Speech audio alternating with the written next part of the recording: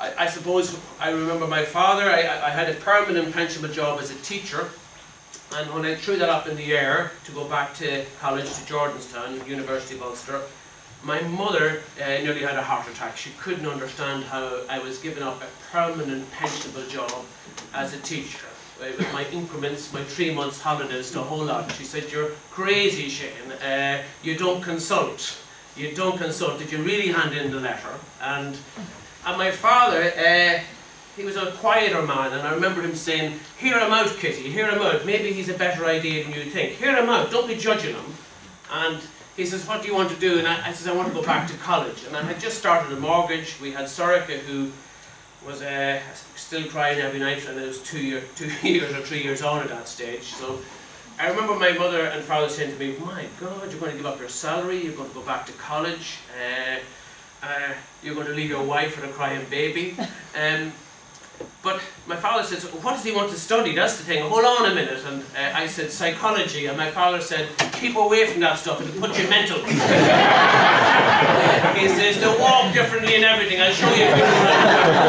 so I've always had a little bit of a, a, a, worry about psychology. And when I started first, uh, I was nearly boasting about my new qualification. I used to say to people, I'm actually a psychologist. and I, I discovered at a funeral wedding that people move on quickly when they if you're on a train or wherever, uh, they might even go to the toilet and not come back. You can shrink picking my brain there. And I, I think the mistake uh, we have made is uh, in our obsession with uh, Ill illness, we, we forgot about wellness. And I certainly met an awful lot of people uh, in my role as a psychologist at rehab group who should never have become unwell at all. Uh, and I think there's so much we can do instead of always reacting to mental illness you should be sowing the seeds of mental wellness much, much earlier than we're doing. Uh, you can't see that, which is great for business, because it leaves you wondering, doesn't it? uh, but uh, mood watchers, if you Google mood watchers, I'll come up uh, first, okay? And we're nothing whatsoever to do with Weight Watchers. We're totally independent. I don't know anyone in this room, but I know there's three things we all share in common. No matter where I am, no matter whom I'm with, uh, if I was in New York, if I was in Monaghan, if, if I was in Arranmore Island, as I have been, if I was in uh, London, it makes no difference. And the first thing is that we're all vulnerable human beings. Everybody here is emotional. We all know how to cry. We all have cried. We all know what anxiety is. We all know what worry is. Uh, even the hardest shell can crack. Even the toughest guy can tumble. I've met a lot of those in recent times. So we're all vulnerable. Uh, there's no doubt about that. Even psychiatrists and psychologists become mentally unwell too, you know. What initials you have after your name, your job title, uh, how many conservatives you own, uh, the, the, money you have in the bank account, those things do not legislate for how vulnerable or unvulnerable you are. The third thing is that it's not the recession, but since the beginning of, of, of time, uh, we will all face crisis and challenge. None of us get off scot-free. Uh, and sometimes we think that, I suppose we're the world's worst case. We might even think that there's families who wouldn't know a problem if it hit them. Uh, you might even know a family in your local locality who seems to never be uh, in trouble. You know, it could be, let's say for talks, let's say it's the McMahons, and you hear that the one that you teeter draw again this Christmas. That's 3,000 euro going to the same family, two years in the trot, and you might be saying to yourself, doesn't surprise me. The McMahons win every fucking thing. McMahons are lovely people, but doses, real doses. Uh, four children in that house. And not, not just one of them, but all four of them did the best leaving cert in the Eurogroup. All four of them, Shane, even the two lazy lumps that did no work, they also did the best leaving cert. Nothing goes wrong for the McMahons. Lovely, lovely woman, Lily McMahon, but a dose. and, uh, sometimes you just wish you could commiserate with her just the odd time rather than congratulating her the whole time. Like, you know, the latest one with her, and it does my head in. She says things to me like, uh, you know, you have to know when to buy property, you have to know when to sell the property. Oh, yeah, oh, I got rid of it all in time. I saw it coming. Well, you stung yourself. Lovely woman, but a dose. Uh, sometimes you, you just wish that they, they might have a little bit of a problem to talk about. Like I saw Mrs. McMahon up the ladder last week. Now, I wouldn't wish a big fall on her. but even a small fall. So can we help? Can, can our family help you, Bridget? Uh, but the reality is that the McMahons are no different than us. Uh, they have had their problems. Maybe we don't know about them. Maybe they are in, in going through them at the moment and are masking them. Maybe they're about to experience them. Uh, life is full of challenge and crisis. I, I already know what it's like to lose two wonderful parents, taken far too early from me, rocked me to my foundations. Things are constantly happening to us uh, that we have no control over. And in every given day, we find ourselves in circumstances that we don't plan for. So I think that's massive. It's nothing to do with recession. We've had recessions before, we've had famines before, we've had a war of independence and a bloody civil war. There'll always be things that we don't want around the place. Uh, but we underestimate our potential to cope. And the big mistake my profession made and the science of psychology made was that it tended solely to interview people who didn't cope and it, it, it, it, designed wonderful interventions to help people get back on track. And that's hugely important work, and we need to do that with competency and above all compassion. But not everybody takes the same hit. In fact, the same things do not affect people in the same way. Uh, John Milton was a, a wonderful poet, but maybe more of a psychologist than he meant to be when he said, uh, the mind is its own place. It of itself can make heaven out of hell or hell out of heaven. Uh, absolutely. Uh, I've met people, that if no one becomes unwell by fluke or accident. They always have a story to tell me, but the same things do not affect people in the same way. And often it's the meaning that we attach to life events, uh, more so than the life events themselves. And resilience is, is crucial. I think in the current climate, uh, it's the most relevant topic of all. How to keep ourselves together how to bounce back again. And maybe we won't be going back to where we were, and maybe where we were was not the best place anyway. But I suppose getting back on top of things, uh, reaching our true potential is never ever something that becomes irrelevant. And for, for, for people who are resilient, they're the people who intrigue me more than ever. Uh, maybe people who didn't become mentally unwell at all, uh, that maybe should have, if you knew what they'd been through. Are, people who've bounced back completely from mental illness, who have reclaimed their right to be here and are living a fantastic life, fulfilled and successful. When you interview those people, you, you get different things cross-culturally, but there's certain common denominators that, that, that translate through all cultures as well. Uh, and I think it's all about box and clever. I think there's a huge amount that can be gained from picking the brains of people who are resilient. Uh, we need to protect our own health. Uh, I addressed over 400 people in Cork uh, in a voluntary, a voluntary, capacity who, I suppose, the common denominator among them all there, uh, but last month, was that they were all in financial debt. They, they all owed huge money. Uh, I remember the first person I met told me they owed 2.7 million, and I thought I, mightn't do this gig after all. I think need somebody else to give you a pep talk. Uh, but um, but you know everybody was in trouble. Uh, but not everybody has to fall apart. I think that's the crucial bit. Um, and we underestimate our own potential to cope. First tip is rational thinking. I think when we're stressed, we don't think neutrally, we don't think in an objective way, uh, and we're not fair in ourselves. And we become know-alls. When we're stressed, we're governed by our very emotions that we're feeling, be them anger, uh, be, it, be it guilt, be it frustration, be it regret, and we, we can lock ourselves into a world where we advise ourselves, where we become know-alls. And know-allism is rampant at the moment. And if you have that, you probably are a bit of a dose. but I have met people who know why I can't help them before I start even. Uh, and I think we're all vulnerable to that if we advise ourselves the whole time. And stress is inevitable. We, we can't change that. And, and stress is not all bad. In fact, you need stress uh, for things to happen. If you you know, if you had no stress, you'd be so laid back, you'd fall back. You design a 10-year business plan, and on year nine you'd be saying, will we start this now, or whose idea was it anyway? uh, as a former teacher, I taught students, and I wish I could have given them stress, if anything, because they could never see the exams coming. So you could never get rid of stress at all. I think, I think it's prolonged stress is what's dangerous. That's a bit which I'm concerned about as a mental health professional, because Prolonged stress, untreated stress, interacts with your inner chemistry. Uh, if you took a week off to investigate disease, uh, you'd find a stress component practically in all of them. And stress interacts with your whole physiology. Uh, and prolonged stress, where you're bubbling and brewing for weeks, where you're plotting revenge for a month, Well, I'm ready for the meeting. all my grenades, it's all about when I know. it's all about timing. Uh, I think if you're like that, I think it's unlikely that you are going to be a sleeping eater, I suppose, uh, and you're probably very hard to live with too. And I think stress, a huge part of stress is the, the way we think. And when we're stressed, we, we think in a very biased way. Um, we, we, engage with ourselves, uh, we consult with ourselves, and most of what we think never comes out. The vast majority of what we think is never spoken. And the greatest friend of depression, which is one in four at this stage with growing, growing numbers, is solitude. And you don't have to live on your own to experience depression. Uh, you detach yourself from other people, and you join the dots on your own, and you conclude without the evidence, and you make your own mind up about things without ever, finding out about them. And the way we think can be very, very crucial during times of challenge.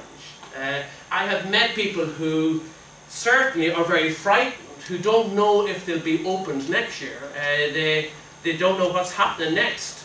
But I've also met people who are doing different things and doing things differently long ago. I've met people who were made redundant and who already have depression.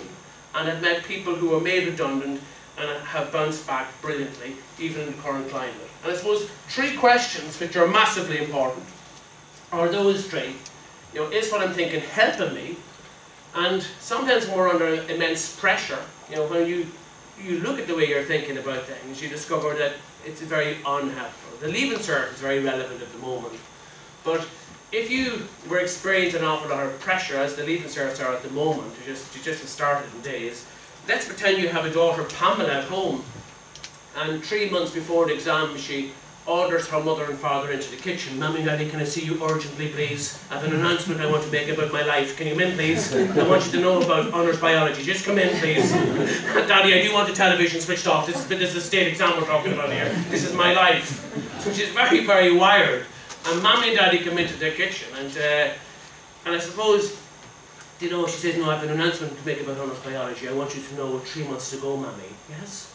I'm going to fail honours biology. I'm telling you now in advance. and uh, all I wanted to achieve next year, my science degree. Remember I talked about science, Mammy? Vamos! It's gone. You know, thank God you have the room up there for me. I'll be there for the next 40 years. Uh, it's all over. Uh, and I wanted you to know, Mammy, why I want to fail honours biology. Why? Because of you. you made me do honours biology. oh yes, it's your fault. And, uh, father might advise as best they can, and they might say something like, um, you know, I suppose, you know, why not, why not the ordinary level at this stage? No, you can't do that. Different textbook, different teacher. I just think it's gone. It's all gone. Hope you're happy with that, Mammy. She bangs the door and goes out. Is the way she's thinking anything to do with the sleeplessness? Anything to do with the record-breaking irritability? Anything to do with the appetite change? Absolutely. But when you put those three questions, uh, is what she's thinking helping her with that challenge that she faces? There's actually no thought more unhelpful than that one. I'm going to fail. Uh, that's one you certainly want to get rid of if you're in business. Uh, because, you know, we all need the most powerful, most uplifting, more real, realistic, but realistic, realism wedded to reality too. But uh, that's a very unhelpful thought. The, the second one is what you thinking fair? Is it rational? Sometimes we advise our friends, and we shouldn't be advising them at all, because we tell them what we think they want to hear, which is an awful thing to do. Uh, like if I was asked that, I'm going to say in honours biology, what do you think? I actually don't know. I couldn't conduct a conversation. I'd have to see the data. I'd have to see her last five results for starters. And she has failed honours biology three times out of the last five, so she has a history of failing that challenge. There's no problem whatsoever in seeing that. But she also has a history of passing. So we want to be fair and rational, we have to take all the information. Plus, as a former teacher, I know that it's unusual for a teacher to allow a student stay at honours level that's destined to fail without sending out a signal by Christmas even to cover their own tracks. Don't mention that, I'm out of the business now. and I suppose, you know, is it absolutely true? I meet an awful lot of people who believe things that are not true.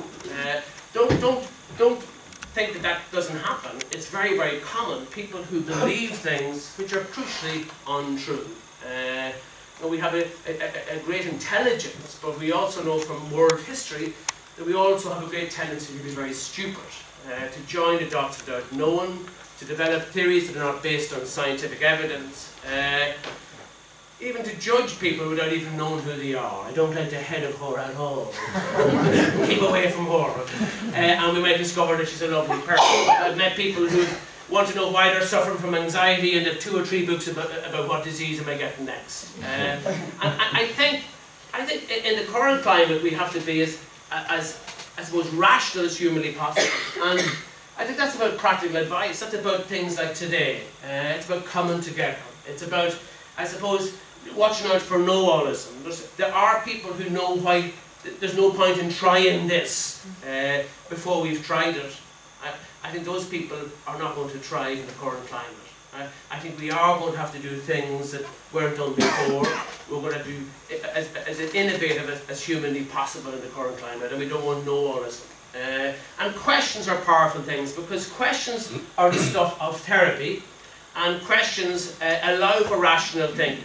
And you know, if the greatest friend of depression is solitude, where you only consult with yourself, you don't necessarily have to live on your own, but if the only advice you're given is yourself, uh, to yourself, I think you're leaving yourself at a huge risk. So, so I think the more people we liaise with, the more people we, whose brains we pick, uh, the more ideas on the table, the more plans, the better. Uh, and questions leave you more likely to be more rational.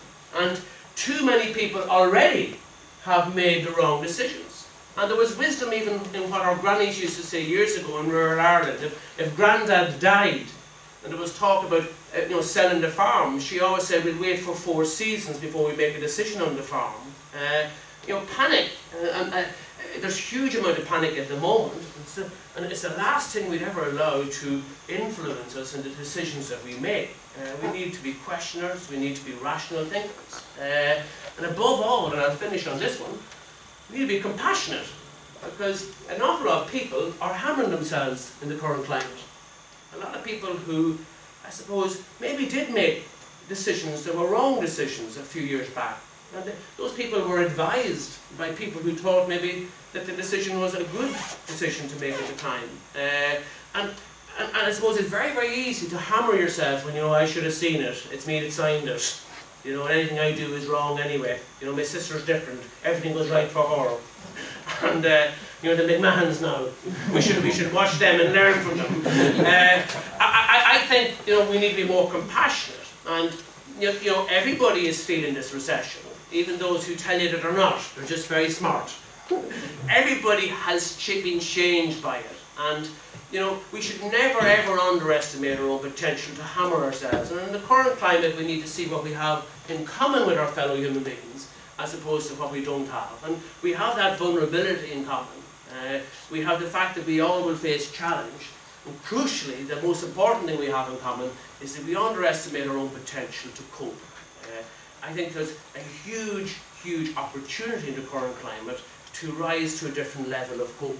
Uh, to put you know, this, this particular chapter in our history behind us and to bounce back like never before. And thank you very much for listening to me. Thank you.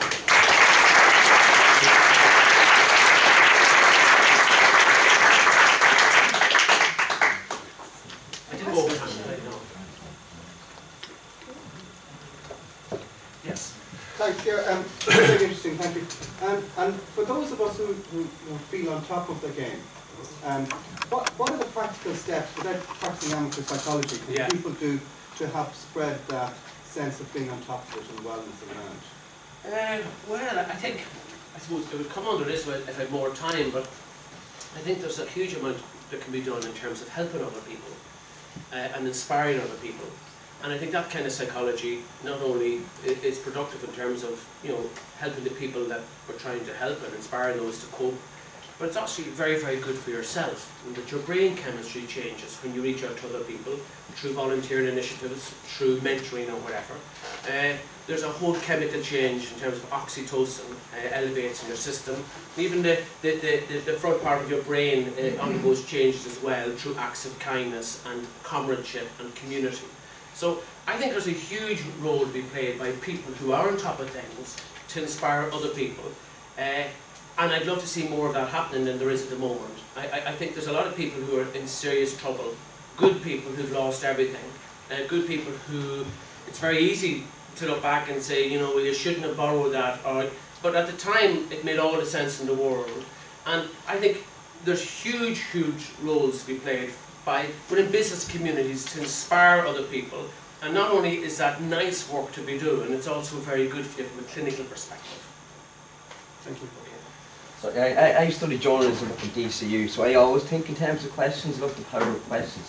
Yeah. But uh, like, do you think that health, you know, fi fitness plays a key role in terms of your mental well-being? Like, do you think like, I know that like, I know what to do in Camp David, to go for walks, to talk Yeah. to resolute, to conflict resolution, whatever. Do you find that helps because you're not thinking all the time? Yeah, well, I think, I think, I think in terms of exercise, uh, the National Clinical, the National Institute for Clinical Excellence, which governs GPs in England, 11 years ago, issued guidelines to GPs, and in those guidelines it said that if someone presents with early or mild stage depression, uh, do not prescribe antidepressants first. Uh, prescribe structured daily exercise.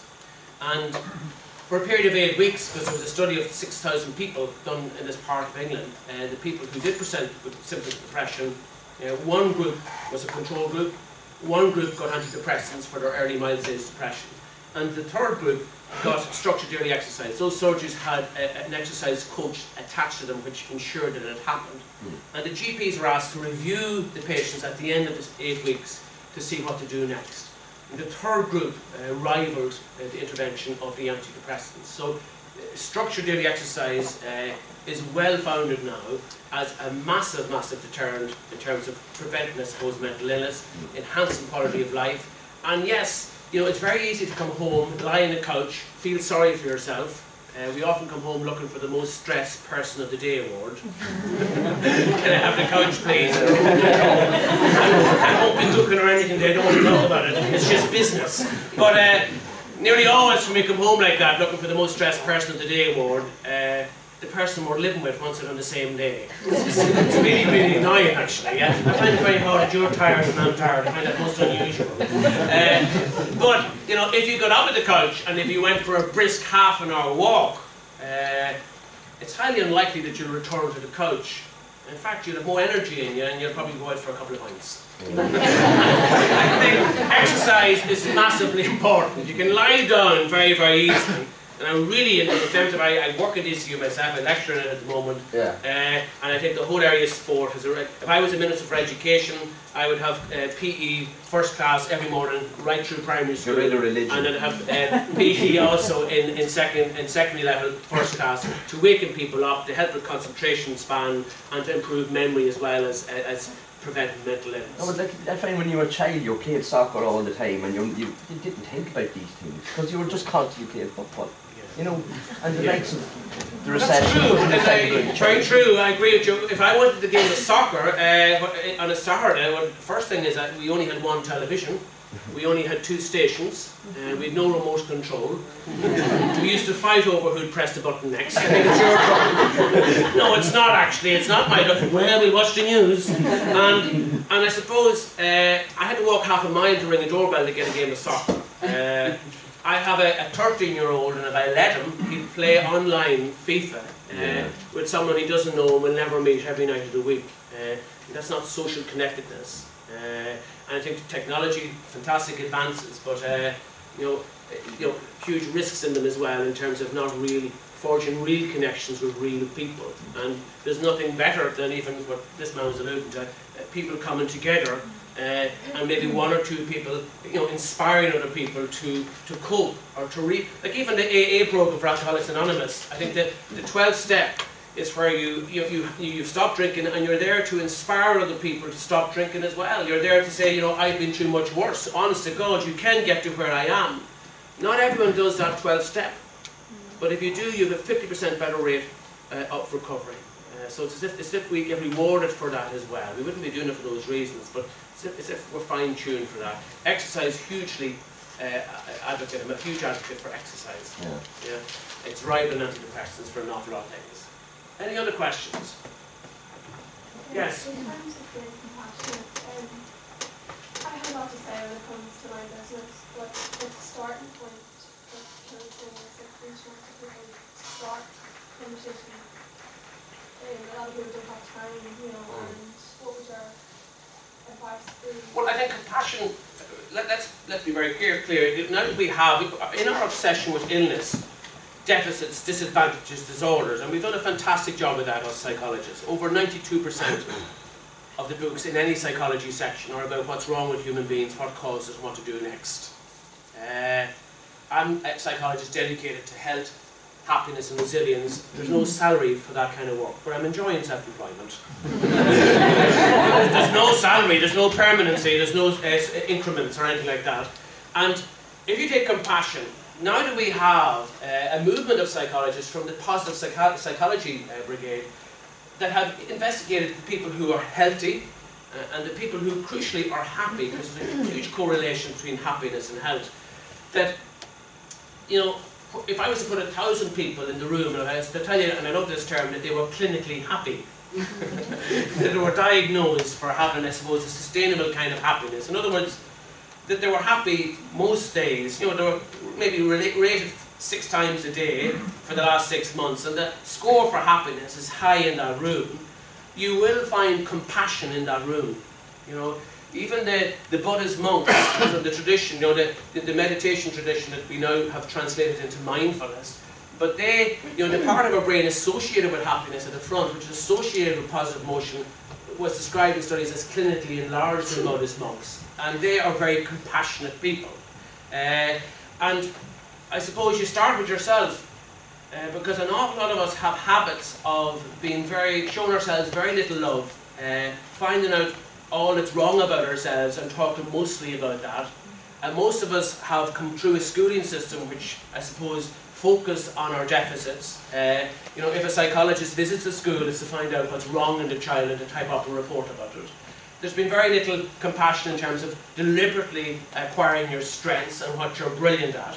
And, and I suppose acknowledging the fact that you are a vulnerable human being like everybody else. Even the biggest guys fall down. Uh, we're not all here forever and that we're entitled to the best possible life uh, is, a, is an act of compassion to acknowledge that. Within the workplace, um, you know, we can't be Mother Teresa's. Um, we don't work for free. It, it, we have to make a dollar. But I think there's lots of research which shows that the compassionate employer, the, the person who sees the people uh, as well as what they do, uh, that kind of compassion does play huge, huge dividends in terms of productivity.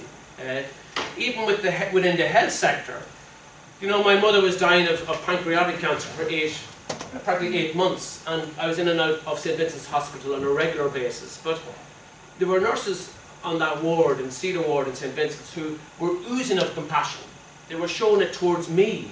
Uh, they were concerned about me as well as my mother.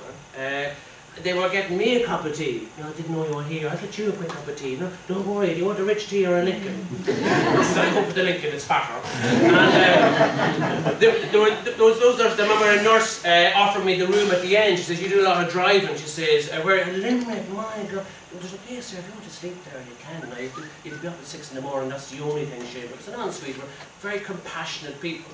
You've got to know their names, there were other nurses on the ward which were not just as compassionate. You got to know their names as well. So we don't give tea, we don't give tea, we don't give tea to the patients. Well, I actually got tea. You got tea from a member of staff. Yeah. Did you get her name? Sorry, I don't remember her name. She purple hair. you have to be lying, don't you? But I suppose what I'm saying that healthcare sector, but it, it translates into business, is that I know which nurses are happiest in the work that they do, uh, and I know which strength is crucial for the caring profession. I know which nurses' days end sooner than other nurses. Uh, I'm not saying that there are less or better people, but I'm saying the compassion is massive. And certainly even from my own experience, the, the people that employed me who showed an interest and compassion for me uh, got more loyalty from me as well. I'd never allowed him to be criticised. He's sound, leave him alone. He's actually very, he's actually, I can't go into it now, but uh, he's been exceptionally understanding to me and the circumstances I'm in. And I think we need a bit of compassion in all work settings. We need it in our communities as well. We need to reach out to other people in the times we're in. Uh, and we need to, I suppose, instill a new confidence that's very, very low at the moment. Any other questions? Hi Shane, I'm Roshan Hughes. I was just wondering if you have any thoughts on um, intuition versus logic when it comes to decision making. I'm asking because I took a decision about a year and a half ago and it was very intuitive, um, totally illogical, but and it's been a bit hard since then, but it's paying off. Yeah. Uh, well, gut feeling, and I suppose doing what you feel is right, is admirable. I'm very good at that. In terms of the business side, I probably wouldn't be as good as I'd like to be. Um, you know, I, I've been very successful. I mean, in a very humble, humble sense. I've been, I've been everywhere with what I do.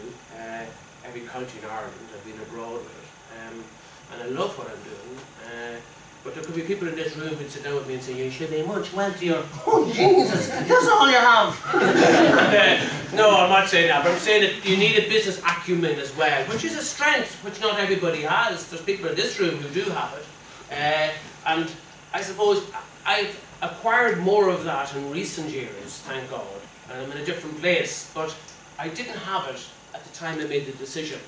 And I think the mistake I made when I look back at my career since I left, I suppose, mental illness to go into mental wellness and resilience and the likes and happiness, was I didn't have, uh, if I didn't have the business acumen, I should have consulted people who did have it. Uh, during that I was doing the whole of Ireland on my own for a long, long time, uh, and I, I went off hotels.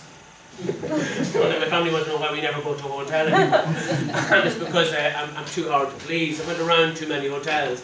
And I, I probably could have had a team with me. Uh, I could have worked in partnership with other people. Uh, and I think intuition, certainly I acted on, and it has brought me on a wonderful journey, personally and professionally. But the acumen and that, you know, oh, crucial, very, very important. My father had that in huge degrees, my mother didn't. Uh, and my, I suppose my father, I suppose, was passed away before I made some of those decisions as well. But I always miss his, I suppose, wisdom. He didn't have a formal education, but sometimes you get that acumen that's not through schooling at all. Okay, so you, need the two, I think, to, to really have a bounce in your step. And if you don't have that business acumen, you need to work with people who do have it. You know? Yes. Thank you so much for closing with that slide, because uh, this would be the nature of my work, witnessing wellness, this idea of a 12th step. Yeah. We need, for every negative message, we get three positive messages to counter it. And what we do culturally isn't even offer the easiest message. Oh, isn't it a great day? Could be our whole summer. You know, we, we immediately go to the negative. So if we could just watch our language, because that's where we're going to be next. So I, I really appreciate you mentioning the 12th step, but also the wisdom in all of them. And, and it doesn't seem to be part of the culture. How do, how do we begin to take what's right about village life, about what we do so well, in terms of taking care of each other and providing for et cetera, et cetera. How do, how do we take that and teach ourselves, things are really? Yeah, I fully agree with all of that. Yeah, that, that, that are my sentiments. That's, that's the work I, I, I involve myself in. That's my work. That, I love that kind of work. Very, very important work. Particularly in schools, sow the seeds of that in, in schools. Huge, huge potential in terms of reducing uh, mental illness and enhancing happiness, which is even a more interesting conversation than mental illness all the time. So, Yeah. uh, Shane, thank you so, so much. No. Uh, the, the smell of pizza is wafting up the stairs. You have no compassion for me whatsoever if I don't release you downstairs. I